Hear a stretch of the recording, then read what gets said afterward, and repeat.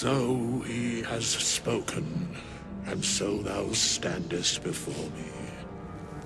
Right, as always. What a curious way to awaken. Now, I have a question for thee.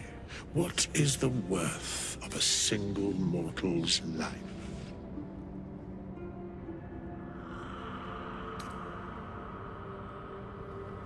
An arbiter of certain matters.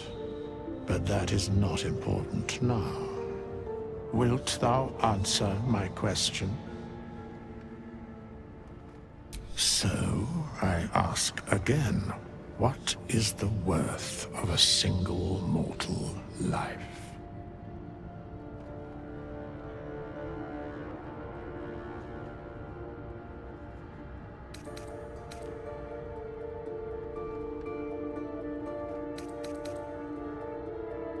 In death, that is so. Very well. I am satisfied. We have met, and I know thy face. We will see each other again at the proper time and place. Farewell.